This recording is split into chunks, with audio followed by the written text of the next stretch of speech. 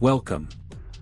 In this video we will talk about code P0724, its symptoms, causes and possible solutions. The P0724 code indicates a high voltage condition in the torque converter clutch, TCC, brake switch B circuit. This switch is responsible for informing the engine control module, ECM, or transmission control module, TCM, when the brakes are applied and the torque converter lockup clutch should be disengaged.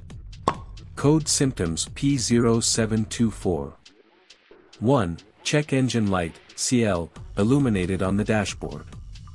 2. Harsh or delayed shifting. 3. Engine stalling when coming to a stop. 4 decreased fuel efficiency. 5. Transmission overheating. 6. Vehicle may go into limp mode to prevent further damage. Causes of the code P0724 1. Faulty torque converter clutch brake switch B. 2. Short to power in the brake switch B circuit. 3. Corrosion or damage to the wiring or connectors associated with the brake switch B circuit. 4. Faulty ECM or TCM. Code Solutions P0724. 1. Inspect the wiring and connectors associated with the torque converter clutch brake switch B for any signs of damage, corrosion, or wear. Repair or replace any damaged wiring or connectors as necessary. 2. Use a multimeter to test the voltage in the brake switch B circuit. If voltage is higher than expected, trace the circuit to locate the source of the high voltage, such as a short to power.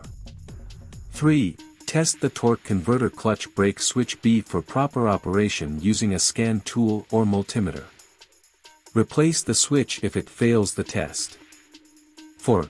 Clear the trouble codes from the ECM or TCM memory and perform a test drive to see if the issue recurs. Monitor the vehicle for any further symptoms. 5.